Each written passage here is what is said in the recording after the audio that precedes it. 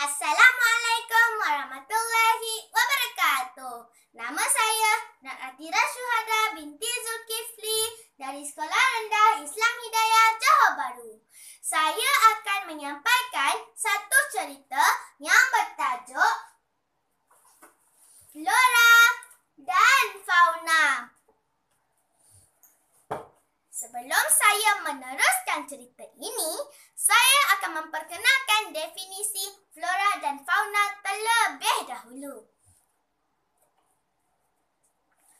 Flora ber, flora bermaksud tumbuh-tumbuhan yang terdapat pada satu-satu daerah. Manakala fauna pula seluruh binatang yang terdapat di seluruh tempat. Flora terbahagi kepada tiga bahagian. Iaitu yang pertama, flora asli. Flora asli ialah sesuatu kawasan. Yang kedua, flora pertanian. Tumbuh-tumbuhan yang diang tumbuh-tumbuhan tumbuh-tumbuhan yang ditumbuh dengan jagaan manusia. Yang ketiga, flora rumpai.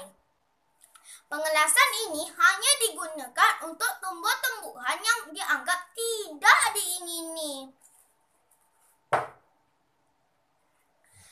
Fauna pula terbahagi kepada dua, iaitu darat dan air.